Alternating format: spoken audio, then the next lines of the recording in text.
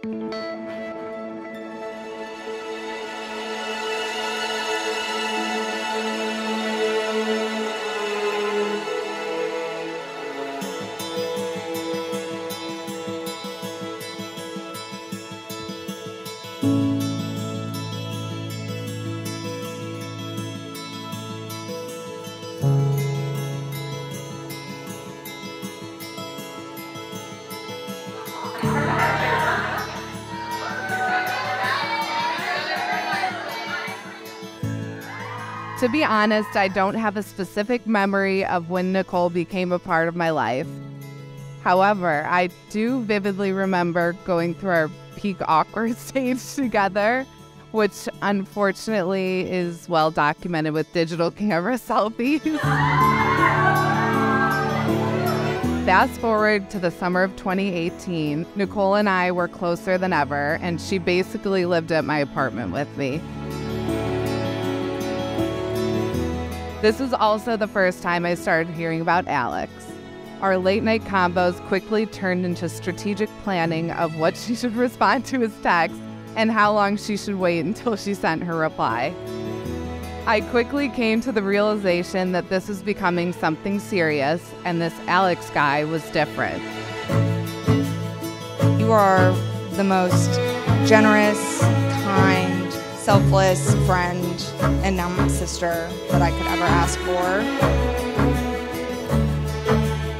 When I was preparing for this speech, I was trying to think of a memory from growing up with Alex, and I kept coming back to Pee Wee football. This was our first year of tackle football when we were eight years old. One thing to know about Alex is he's a pretty peaceful guy. He's not confrontational, he's not violent, and I have never really been tackled before because this is my first day of tackle football. So I'm thinking, oh, it's just Alex, okay? I'm not really scared of Alex.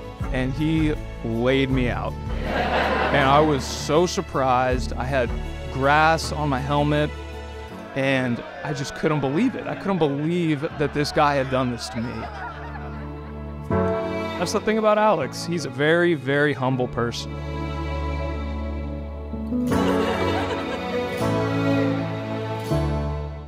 The thing that I really respect about Nicole is she genuinely cares, and it's so easy to see, even from somebody who's not involved in that area at all. When a baby that she is taking care of pulls through, she is so excited about it and tells everyone, gives them updates about her baby. Yeah.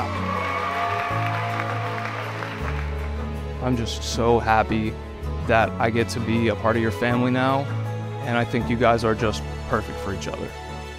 I love you both so much, and I'm so endlessly happy for you to start this life together.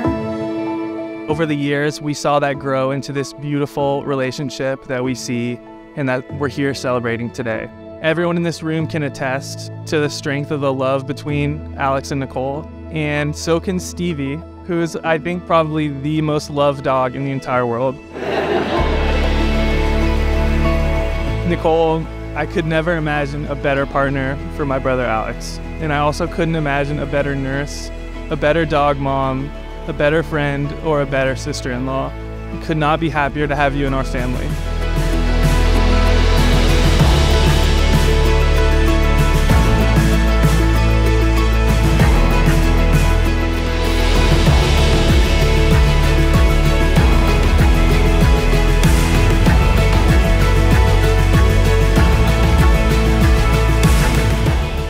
God, I, Alex, take you, Nicole, to be my wife.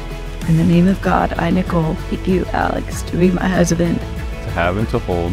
From this day forward. For better, for worse. For richer, for poorer. In sickness and in health.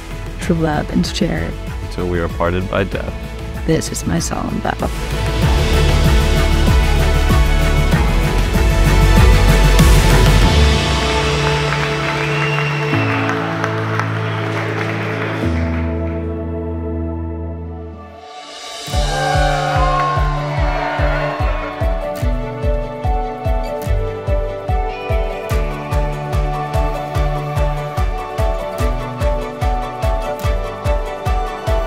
To me, the McParlins have always been the definition of a chosen family.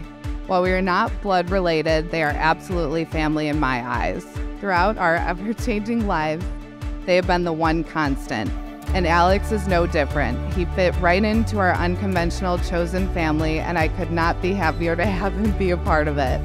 And although Nicole is technically a younger sister to me, I have always looked up to her, and I will continue to look in her and Alex through every season of our lives because they are undoubtedly the perfect example of fierce love and loyalty.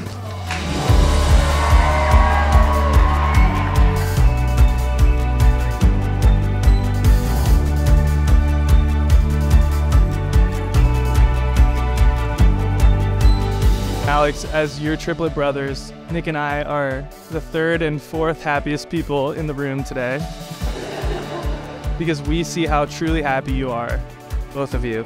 To Alex and Nicole, here's to a lifetime of health and happiness together.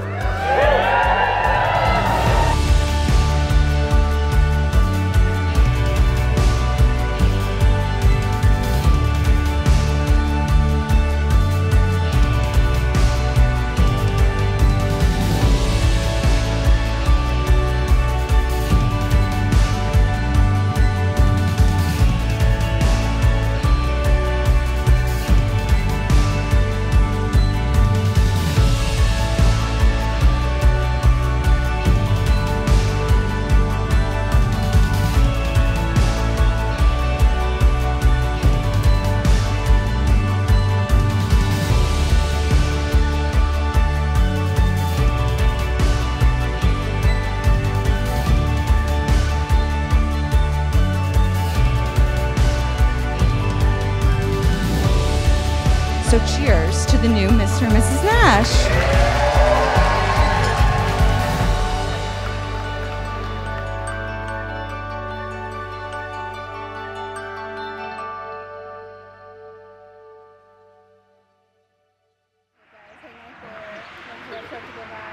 And then one looking at each other, brothers, also brothers.